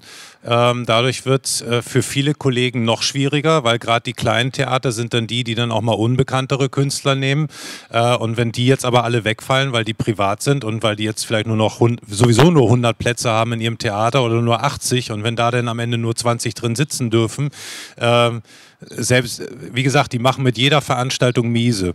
Und das geht natürlich nicht auf Dauer. Das heißt, ähm, das wird interessant. Also ich für, für mich persönlich glaube ich, wird es ganz okay laufen. So, also die, wir, wir, haben genügend Termine und es wird wahrscheinlich weniger Publikum sein und wir werden weniger verdienen als früher, aber es wird zum Leben reichen. Also ähm, da mache ich mir jetzt im Moment gerade keine Sorgen. Aber ich glaube das schon, dass die Szene ziemlich ausgedünnt sein wird. Also ähm, sowohl was die Künstler als auch die Theater angeht. Also da wird schon einiges weniger sein als vorher. Auf jeden Fall. Okay, mit sozusagen der Wirkung, dass dann Leute aus diesem Beruf auch möglicherweise eben aussteigen und vielleicht dann auch nicht wiederkommen, wenn sie sich woanders etablieren können. Aha. Ja, also auf jeden Fall wird, äh, wird das Angebot kleiner werden. Also die, die ich meine, das war vorher schon der Trend, dass es immer mehr zu den großen Bühnen und den Events geht und den Bekannten und es immer schwieriger wird, Publikum in die Theater zu kriegen für unbekannte Künstler oder Newcomer. Ähm, also insofern, der Trend wird sich wahrscheinlich verstärken. Ähm, das, ich meine, es wird auch da wird wieder Neues passieren. Also dieser Online-Trend, der wird auch nicht ganz verschwinden. Ne? Also die, äh, die jungen Künstler werden sich viel mehr noch als sowieso bisher über YouTube erstmal etablieren und ihr Publikum ziehen. Und äh, das wird auch für einige super funktionieren, aber es wird auch ähm, für viele keine Möglichkeit geben, mehr sich so, sag ich mal, die, Karriere nach und nach zu erspielen von kleineren auf die großen Bühnen. Da wird viel fehlen. Hm. Okay, und bei dir? Also das, was Heile gesagt hat, kann ich nur bestätigen. Es wird auch mir oder uns äh, in der freien Szene so gehen, äh, gerade auch in Bereichen Tanztheater, in Bereichen Akrobatik, Figurentheater etc., die kämpfen gerade alle um ihre Existenz. Äh, aber was, äh, vielleicht kann ich noch dazu äh, sagen, dass sich auch die in der freien Szene natürlich auch die Überlegung der Kunst verändern wird. Weil ich überlege mir dann natürlich, äh, womit habe ich mehr Erfolg welches Theater lädt mich mit welcher Produktion an. Und ich weiß nicht, ob ich dann mit Richard Dritten irgendwie da besser liege, als, als wenn ich irgendwie eine Komödie mache oder so etwas. Das ist für mich eine, sagen wir mal, das ist, ist eine, da habe ich kein gutes Gefühl. Also, dass man sich immer wieder was einfallen lässt, äh, so wie wir eben dieses Innenhof-Spektakel gemacht haben. Dieses Jahr haben wir das Fenstertheater erfunden, wo wir in Schulen gehen und die, die Schüler in ihren Klassenräumen bleiben und nach draußen gucken, etc. Man erfindet da immer was, aber das eigentlich Künstlerische, also der künstlerische Moment, äh, was kann sich weiterentwickeln? Ich hatte zum Beispiel vor, tatsächlich äh, vor Corona eine Faust-Disco zu machen. Das heißt, drei Stunden tanzen und alle kennen danach den Faust. Das war der Gedanke. Da waren wir schon am Komponieren, am Machen und so weiter. Das wird wahrscheinlich auf Dauer, auf Jahre jetzt erstmal nicht stattfinden. Und das heißt, äh, man muss auch als Künstler, und das ist, das, das ist eigentlich, sagen wir mal, unser, unser, unser Wert, ist, dass man sich als Künstler weiterentwickelt. Und wenn man dann immer sagen muss, geht nicht, geht nicht, geht nicht, aber zum Überleben mache ich dann mal ein bisschen dies, ein bisschen das, ein bisschen jenes. Äh, ich glaub, also da habe ich, äh, sagen wir mal, da habe ich nicht so positive Aussichten, dass ich da was frei entfalten kann auf Dauer, sondern dass das jetzt erstmal, wenn das Finanzielle noch dazu kommt und auch die, was jetzt noch, was jetzt noch groß gegeben wird, das Geld für Pro Produktion und Projekte, wenn es das dann auch nicht mehr so geben kann, dann Sieht schlecht aus für die Kunst. Jetzt habe ich es endlich gesagt. Ja, obwohl ich würde sagen, ähm, ich bin tatsächlich eher so ein Zweckoptimist, war ich schon immer. Ähm, Theater war immer Krise. Wir haben oben im Büro, also das ist mein Büro mit dem Balkon, ich darf natürlich als einziger einen Balkon haben, ähm, äh, da habe ich ganz viele Regale und da sind uralte Magazine von Theater heute, so Fachmagazine über Theater von 1960, 70, 80, 90. Theater heute, Theater der Zeit, die Deutsche Bühne. Es waren so die drei äh, monatlichen äh, Fachmagazine, die über, die über das Theater der damaligen Zeit auch philosophierten. Jetzt natürlich auch große Probleme haben. Aber ähm, wenn man da mal eine Ausgabe rauszieht, 1975, da hat man immer gelesen, oh Gott, das Theater ist am Ende. Immer. Theater war immer Krise. Ich nenne das immer so, ein Rad am Tespiskan hat schon immer geeiert. Das war bei Fritz Kortner so, bei Gustav Gründgens und das war auch jetzt so. Aber diese Krise, diese Pandemie hat etwas sehr Bitteres. Und ich finde, Helge Thun hat das kurz angesprochen, Michael auch. Ähm, was ist mit den jungen Leuten, die sich mal überlegt haben, noch vor anderthalb Jahren, ich will Schauspielerin werden, ich will Schauspieler werden, ich will Regisseur werden, ich gehe zum Theater. Das war immer nur die das waren immer nur die Eltern, die gesagt haben, spinnst du? Dann kannst du gleich Taxifahrer werden. Das, diese, dieses Ich will Schauspieler werden, ich will zum Theater gehen, hat diese Pandemie wirklich diesen Wunsch bei den jungen Leuten, sich ausbilden zu lassen, echt voll in die Fresse gehauen. Und Schauspielschulen haben jetzt schon Probleme, einen ganzen Absolvent, also einen ganzen Jahrgang zusammenzustellen, weil sich keiner mehr bewirbt, um dort Schauspielschülerin oder Schauspielschüler zu werden. Das meine ich, das hat so eine giftige Sache. Das hat diese Pandemie leider erreicht. Dass wir in einer Krise waren schon immer, dass wir immer darüber nachdenken müssen, äh, wie sehen unsere Formate aus? Interessiert das die Zuschauer und Zuschauerinnen überhaupt noch, was wir hier machen auf der Rampe äh, oder oben auf der Bühne? Hat das was mit mir zu tun? Das war immer, immer das große Fragezeichen. Auch bei den Staatstheatern, bei den freien Theatern, bei den Privattheatern, bei den Kommunaltheatern oder selbst auch Lindenhof. Auch finanziell große Probleme hat dieses Haus in Melching. Ähm, aber dieses, dass da jemand nachwächst und sagt, nö, ich finde das cool, auf der Bühne zu stehen, ich mache das, auch wenn meine Eltern dagegen sind, plötzlich dieser Impuls nicht mehr da ist, weil die jungen Leute selbst sagen, ach nö, ich mache das gar nicht erst. Das ist äh, das, das finde ich, zurzeit dürfste, was uns passiert. Okay, ja, das sind ja alles eher äh, stark negative Tendenzen. Ja, ich, ich, muss ja was dagegen setzen, ne? mein Zweckoptimismus. Also das LTT wird es immer geben. Wir haben so positiv angefangen. Komm, ja, also da schön, dass das Tagblatt nur den positiven Teil mitbekommen hat. Das wird morgen ganz anders in der Zeitung stehen. Der Kunst geht super. Ja. ja, wir dürfen nicht vergessen, das Tagblatt ist noch in Kurzarbeit, weißt du, und da ist natürlich die Arbeitszeit auch beschränkt. ähm, ja, ich meine, es gibt natürlich auch die Hoffnung, dass mit Impfungen und mit vielleicht auch, da wäre interessant zu wissen, ob da schon irgendwas in der Mache ist, vielleicht auch noch weiteren baulichen Veränderungen oder so, vielleicht man auch solche Pandemiegeschichten ja, irgendwie, irgendwie noch besser gestalten kann oder wie. Also wenn das jetzt, jetzt noch längere Zeit halten sollte, wird man ja irgendwie an ganz vielen Stellen irgendwie reagieren müssen. Nicht nur, dass die Leute Maske tragen, dass man mehr Filter, mehr Lüftung. Da gibt es ja schon Techniken, wie man sozusagen auch kleine Räume durch eine entsprechende Lüftungskonzeption, die natürlich Energie kostet, aber wie man die sozusagen auch äh, dann, wo, wo, sozusagen die Quadratmeter dann nicht mehr alles sind. Gibt es da Tendenzen in diese Richtung beim LTT? Ja, wir haben sehr viel investiert tatsächlich in Belüftungsanlagen, in moderne Klimaanlagen, auch was die Probenräume angeht, weil die Unfallkasse sagt, bei der Größe muss es einen Luftaustausch geben und zwar mit speziellen Filteranlagen. Das haben wir gemacht. Das Ergebnis ist natürlich, dass öfters bei den älteren Probebühnen ein riesiges Geräusch der Klimaanlage immer herrscht, was früher nicht der Fall war. Da sind wir im Sommer zwar erstickt und haben uns totgeschwitzt, aber wir konnten in Ruhe proben. Jetzt haben wir einen Dauerbrummen, als wären wir am Flughafen. Also das, Sein oder nicht? Ja. Das ist wirklich, also unsere Lüftungsanlagen, auch was die Zuschauerräume angeht, im LTT oben, äh, in der Werkstatt im großen Saal. Die sind alle prima, die sind hochmodern. Unser Klimatroniker, der stellt das ein, immer auf Vollgas. Das heißt, man sitzt immer bei 16 Grad, gerade den Prozess in der Werkstatt ist gleich vorbei oder bei äh, 17 Grad eben halt im Saal. Das ist sehr kalt teilweise, aber dadurch ist die, äh, der Beweis auch für den Zuschauer, dass wir lüften. Was wirklich doof ist, ich sage Ihnen etwas, Sie dürfen hier ohne Maske sitzen, aber nur weil es draußen stattfindet. Für den Schauspieler, für die Schauspielerin, um die mal in Schutz zu nehmen, ist es im Saal in der Werkstatt eine Katastrophe, immer in Masken zu spielen, weil sie können nur den Blick dechiffrieren und das ist ganz schwierig. Sie sehen nicht das Lachen oder das Grinsen oder das Einnicken oder das Einschlafen oder die Ernsthaftigkeit. Ne? Und das ist wirklich für beide Seiten, auch für die tapferen Zuschauer und Zuschauerinnen, die immer diese blöde Plastikmaske vor sich haben müssen drinnen. Ich finde, das gehört endlich abgeschafft. Immer noch besser als Autokino. Spiel mal ein Comedy-Programm vor 50 Autos. Das muss die Hölle sein, das muss die Hölle sein, das stimmt, da gebe ich dir recht. Das ist, wir, haben, wir, haben, wir, haben, wir haben immer so gespielt, so als ob wir normal spielen würden und haben gedacht, naja, wahrscheinlich reagieren die gerade. aber- Ja, und Applaus ist immer das Hupen oder der Scheinwerfer. Oder? ja, Lichthupe. Ja. Seit Lichthupe für mich Applaus bedeutet, fahre ich wunderschön entspannt auf der Autobahn. Mit 80 auf der linken Fahrspur Genau, und bade im Applaus. Guck mal. Sehr schön. Ja.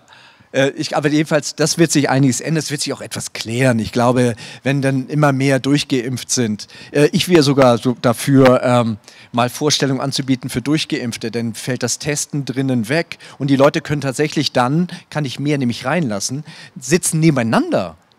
Also das ist ja auch mal wieder ein Gedanke. Ne? Sie sitzen jetzt als Pärchen, weil sie sich kennen und ein Haushalt sind so zusammen. Aber mal wieder neben so einem Nachbarn, der vielleicht Mundgeruch hat oder wieder wieder ein tolles Kaugummi hat. Das ist ja, das sind ja Erfahrungen, die wir alle bitte, kennen. das fehlt mir so. Ja, richtig.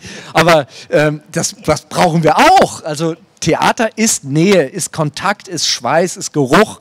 Das gehört dazu. Sonst funktioniert das nicht in meinen Augen. Aseptisch können wir zu Hause alleine sitzen in so einer Plastikhülle und auf den Monitor gucken. Aber das Theater ist nicht so. Es funktioniert nicht so.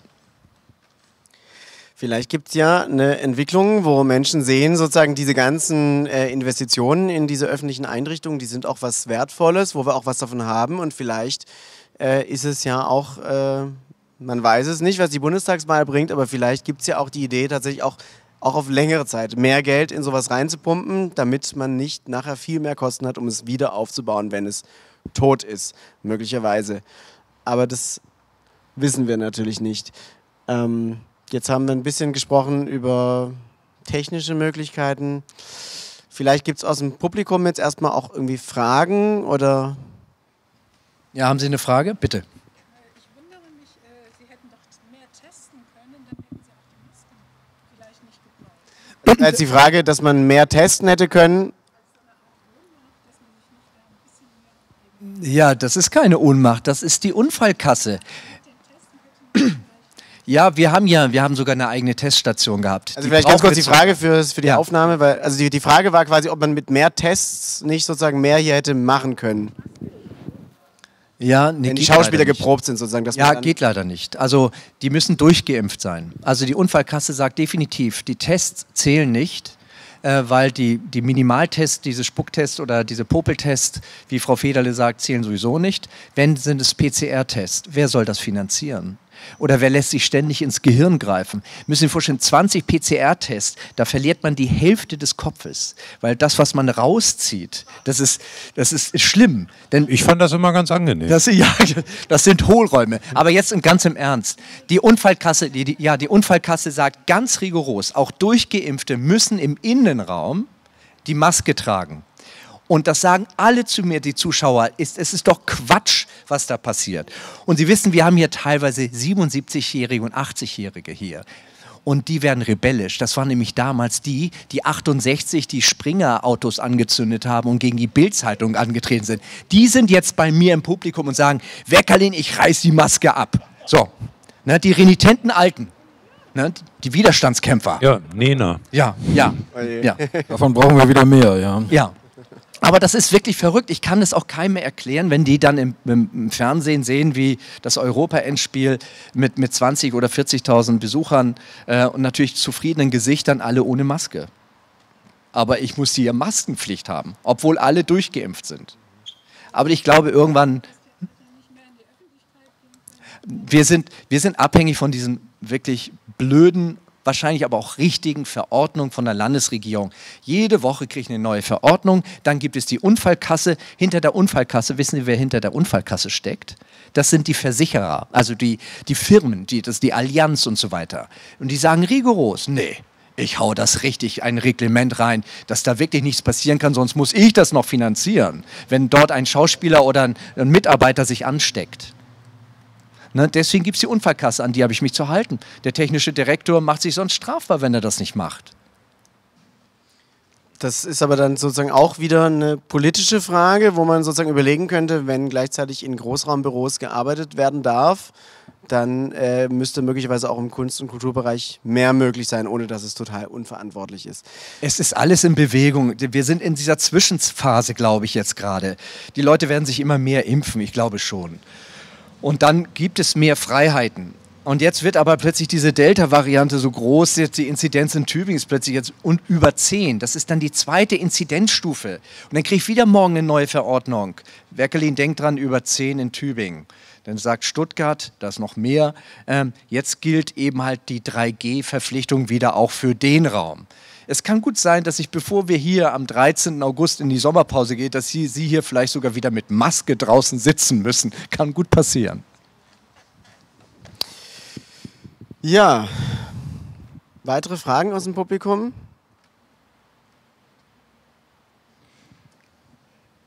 Nein? Mhm, ja? Was könnte man vielleicht tun, dass der Nachwuchs nicht ganz wegbricht, dass junge Leute sich jetzt trotzdem noch Also was könne man tun, fragt die Dame, äh, damit äh, die jungen Leute nicht wegbrechen und sich weiter für die Kunst interessieren. Ich glaube, das sind Sie selbst, das sind wir hier alle, dass wir das kommunizieren, dass wir Kunst brauchen, weil man wird im Kopf mehr. Ich, ich bin mir so sicher, wenn Sie in die Kirche gehen oder in, den, in die Kunsthalle, selbst in die Kirche, in die Kunsthalle oder hier zu uns ins Theater und Sie sehen irgendetwas, was einen vielleicht überrascht, ein Bild, was uns vielleicht erstmal irritiert, dann werden wir automatisch mehr im Kopf. Und wenn wir das immer wieder mit einem riesigen Werbeweltfeldzug kommunizieren, man wird durch Kunst, das ist die Funktion der Kunst und der Kultur, man wird mehr im Kopf. Dann kann uns auch nichts passieren. Uns wird auch nichts passieren, es wird es immer geben. Aber Sie müssen daran einfach glauben und das weitergeben.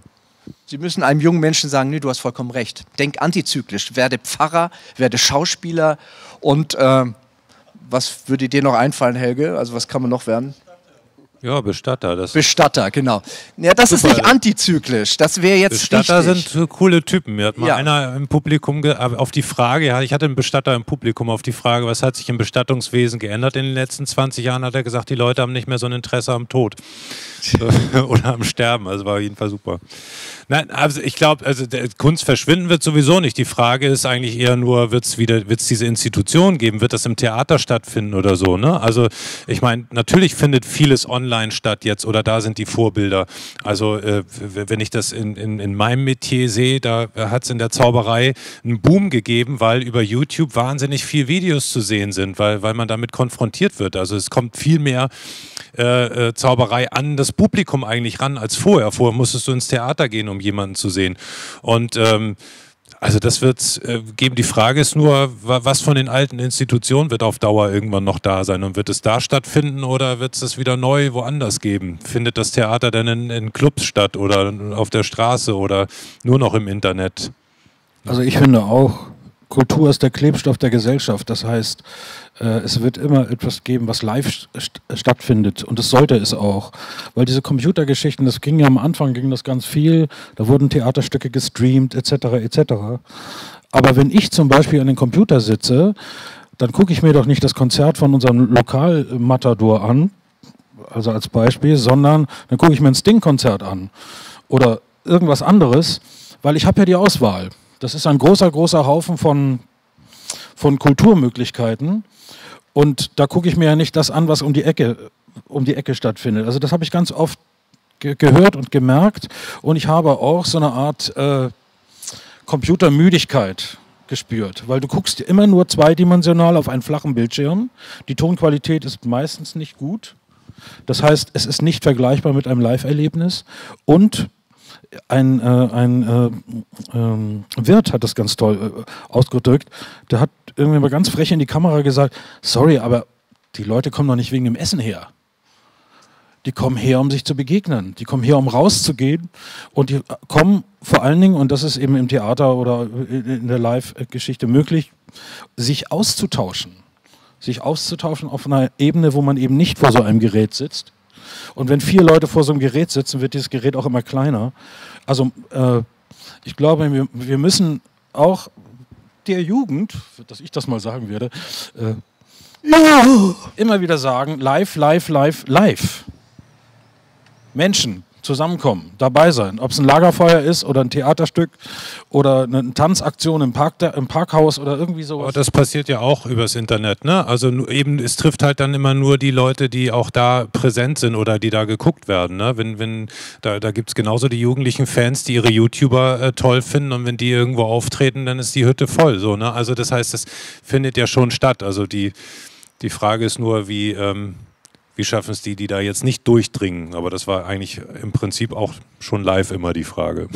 Wobei das ja, bevor ich zur Zuschauerfrage komme, ähm, wobei das ja auch schon äh, so ist, dass zumindest die Idee von solchen YouTube-Erfolgen ja auch so dieses demokratisierende Moment, also zumindest angeblich ist, dass ja theoretisch jeder es äh, äh, irgendwie schaffen kann mit ein bisschen Technik und vor allem, wenn er es halt kann natürlich, äh, sozusagen zu einem Publikum zu kommen. Also ich glaube, und hoffe doch auch, dass sozusagen Leute nicht nur ins Theater gehen, weil es halt leider hier um die Ecke kein anderes Theater geht, so, gibt, so nach dem Motto. Oder die Schauspieler schauen, die dort äh, äh, auftreten, weil halt gerade niemand anders da ist, sondern das ist schon auch ähm, möglicherweise, also es hilft sicherlich, wenn man diese Leute vorher schon aus dem lokalen Theater kennt, dass man vielleicht es dann gerne auch auf YouTube möglicherweise schaut. Also dass es an be Bekanntes sozusagen anknüpft und dass zum Beispiel gerade bei Comedy oder so, wie jetzt bei der Rheinpatrouille, auch auf Lokalkolorierte auch zurückgegriffen wird. Also dass es eben dann nicht das Gleiche ist, ob jemand irgendwo Witze macht über die Elbphilharmonie, die weit weg ist oder so, sondern hier irgendwo in, in irgendeiner Location auftritt, die ich zwar vielleicht noch nie gesehen habe, aber die, wo ich weiß, die ist hier um die Ecke. Also sozusagen dieses lokalpolitische irgendwie oder lokalkulturelle kriegt man ja irgendwie auch ins Internet mit rein. Ähm, aber es ist natürlich was anderes. Ich, ich wollte noch sagen, also die äh, Tendenz zu Online-Geschichten ist ja zum einen vor Corona schon auch da gewesen und die ist natürlich durch Corona massiv gepusht worden.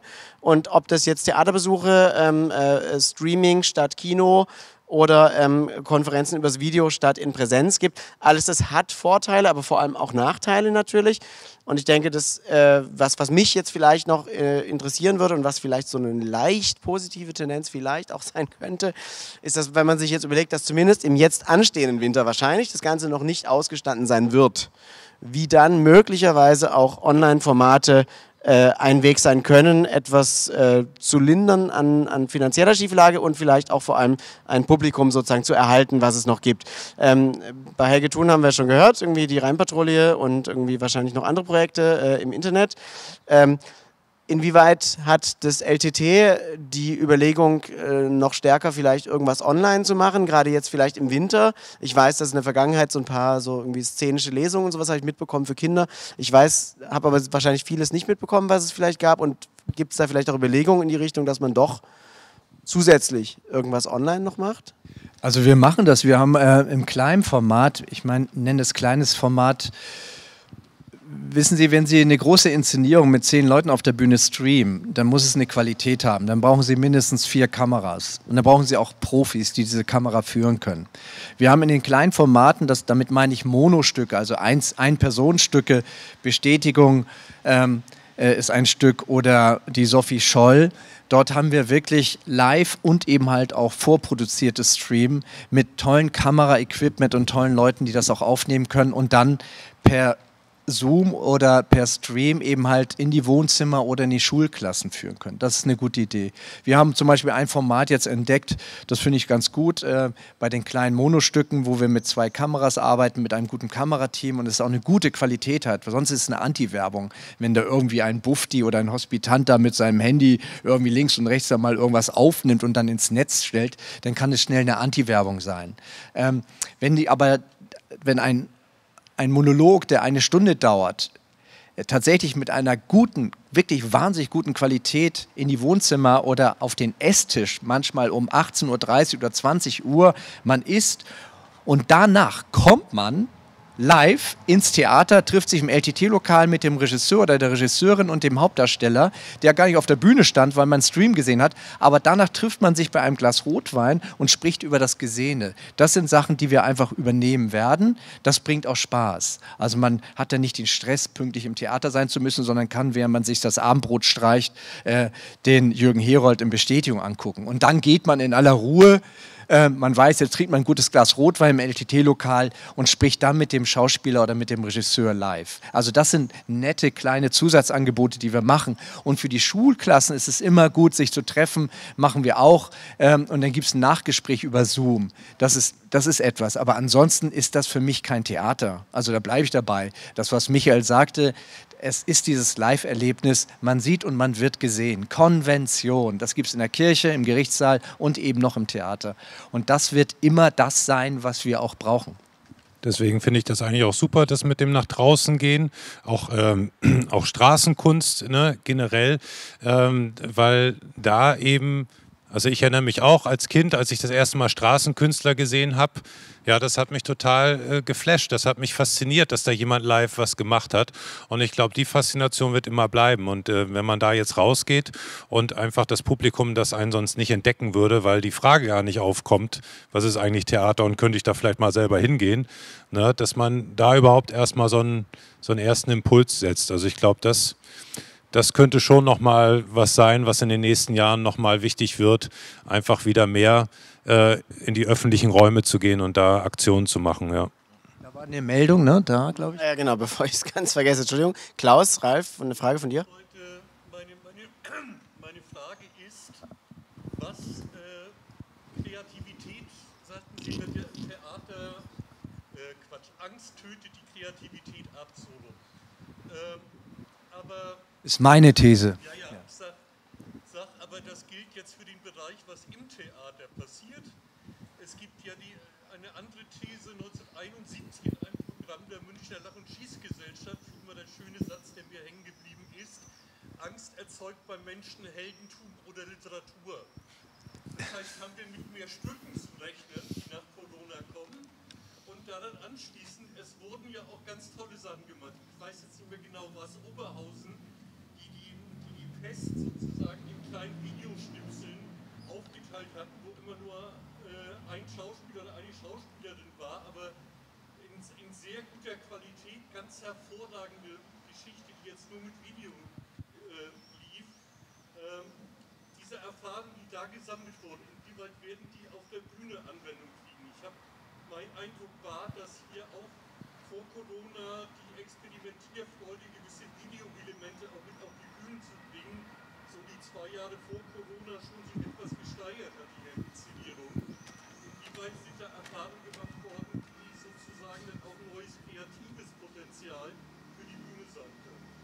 Ja, also ganz klar, das Digitale hat Auch nochmal die kurze Ja. Übersetzung der Frage, wobei das war jetzt so fast eher ein Vortrag. Ich würde mal sagen, also die Frage war sozusagen, ob diese Krisenhaftigkeit und die angstbesetzte Situation sozusagen, dass das ja quasi, dass ja sozusagen Not irgendwie auch immer kreativ macht, so zugespitzt gesagt war, glaube ich, die These.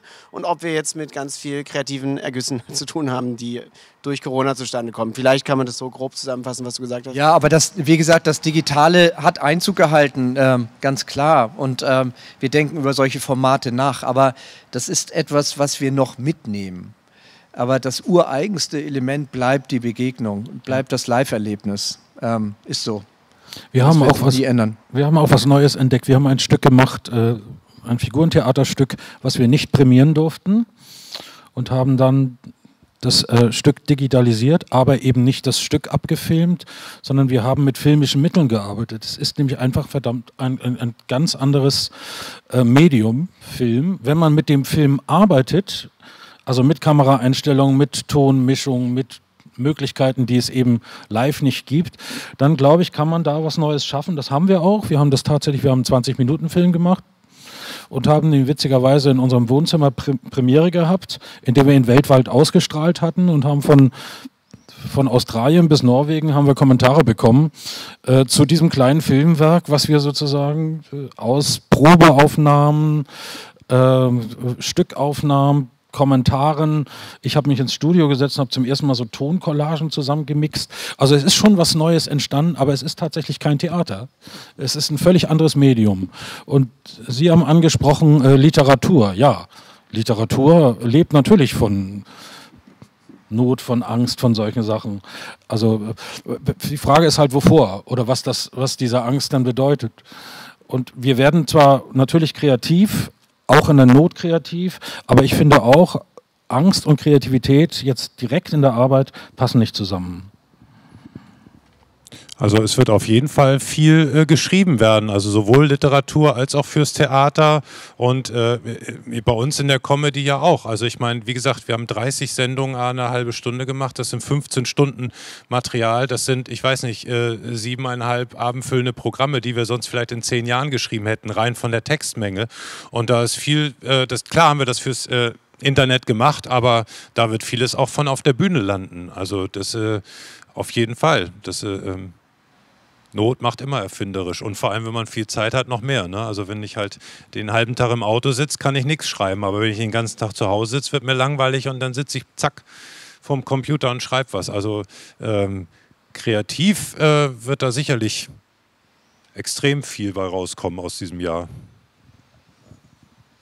Ich weiß nicht, ob wir ein Schlusswort schon so wagen können oder ob es noch wichtige Punkte gibt, die. Also ich habe das Gefühl, wir haben alles so grob. Ah, da ist noch eine. Entschuldigung, was?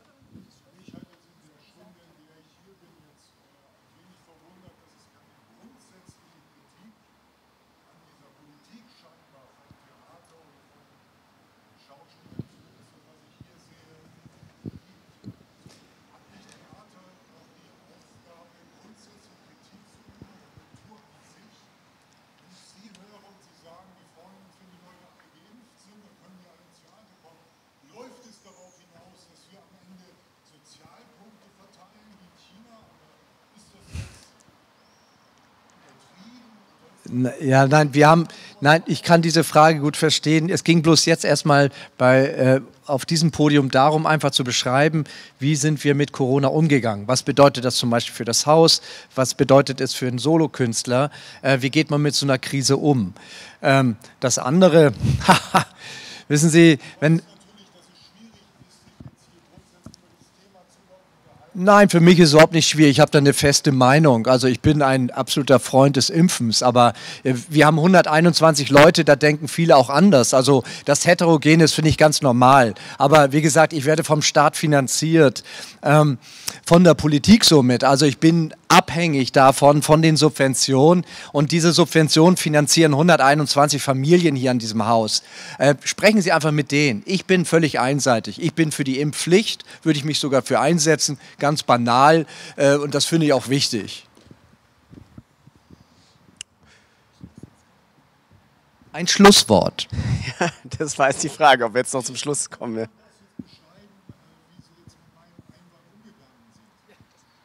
Völlig einseitig, vehement dagegen angegangen. Ja, ganz klar.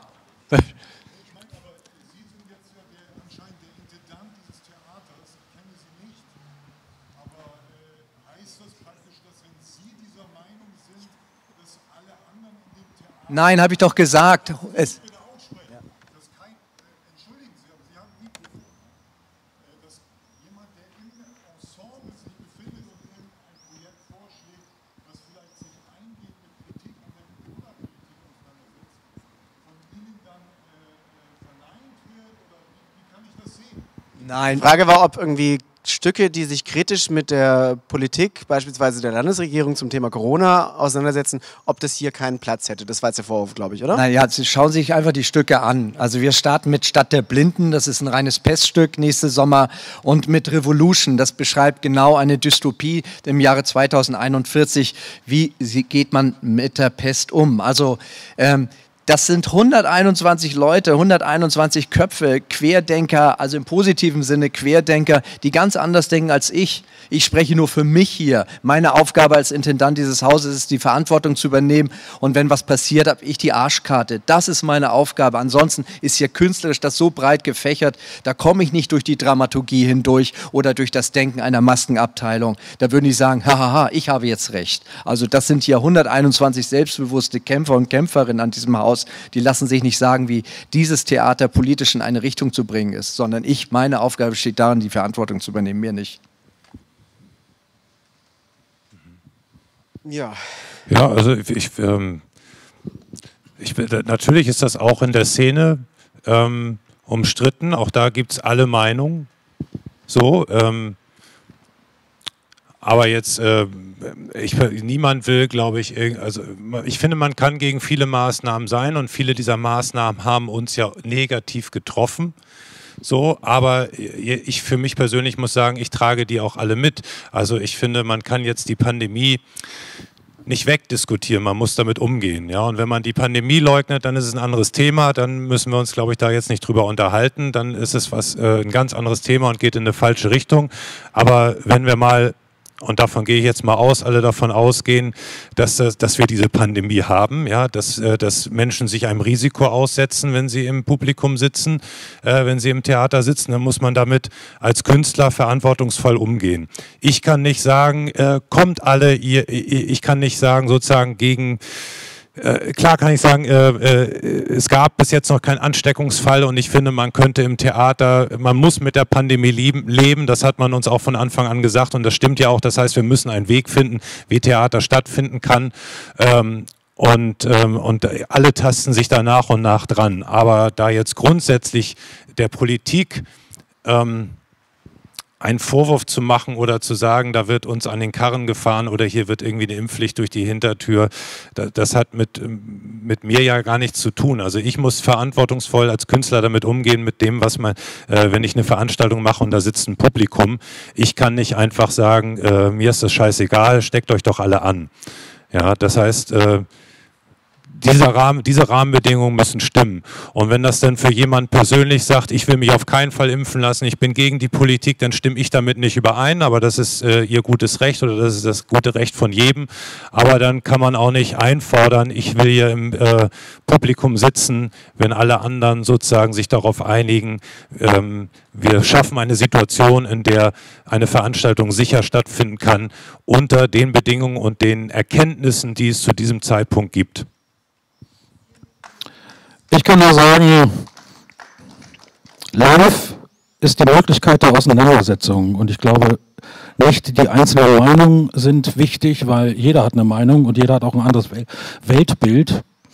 Aber sich live zu treffen, sich auseinanderzusetzen, sich mit Theater auseinanderzusetzen, mit Kunst, mit Musik in alle Richtungen auseinanderzusetzen und immer wieder hinzugehen, immer wieder neue Fragen zu stellen und nicht mit Ergebnissen zu kommen. Ich glaube, deswegen ist es wichtig, dass wir die Kultur erhalten und dass wir diese Möglichkeiten haben und erhalten und meiner Ansicht nach auch erweitern. Das haben wir nicht im digitalen Fernsehen, wo wir drauf gucken und uns ständig irgendwas gesagt, erzählt, gemeint wird. Also ich ermutige Sie heute Abend. Kommen Sie immer wieder. Reden Sie mit uns, beschimpfen Sie uns, setzen Sie sich auseinander, lieben Sie das Theater und alles wird gut. Das war ein sehr schönes Schlusswort. Vielen Dank, Michael Miesopus. Vielen Dank, Helge Thun. Vielen Dank, äh, Thorsten Weckerlin. Und schön, dass wir hier sein Ja, konnten. und vielen Dank an das Publikum. Genau. Dankeschön.